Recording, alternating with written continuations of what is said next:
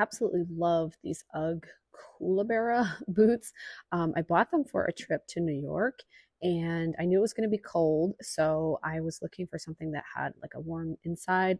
These definitely do. They have like this fuzzy kind of fur that lines the entire boot. So my feet were very warm. I couldn't feel any drafts whatsoever. And they've held up really well. I did a ton of walking while I was there, and I was surprised at how comfortable they were as just a normal walking shoe. And you can see the bottoms are still in really good shape.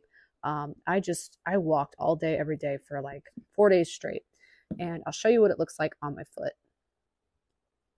So another nice feature is that the opening is really large. So if you're wearing like thick socks, you can easily get your foot in there. And if it's cold out, you probably are wearing thick socks.